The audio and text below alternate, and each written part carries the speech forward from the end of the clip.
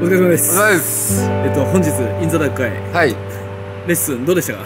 あのものすごくあの楽しかったしあの乗れましたね。前よりもであの前に指摘されてされたあの体の使い方とかですね。あのだいぶマシになったと言われてものすごく嬉しかったです。あと、はい。パドリングの仕方ですか、はい。あれもあの改めて疲れないパドル。ああそうです。疲れないパドルですね、はい。あのあれでだいぶ進めるようになったんで、はい。はいとっても良かったですはいよかったです、はいあと他の板試しましたよねあ試しましたで、はいやっぱり自分のインザダック会が最強ということが、あ、わかりました。痛感しました痛感しました。いろ、ごめんなさい。あの、いろんな人のいろんなサイズの板乗らせてもらったんですけど、やっぱ知識は、あの、テイクオフ最強だって思いました。はい。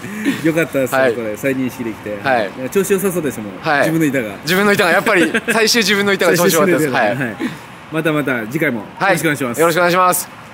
ありがとうございます。ありがとうございました。お疲れ様ですどうもお疲れ様でした。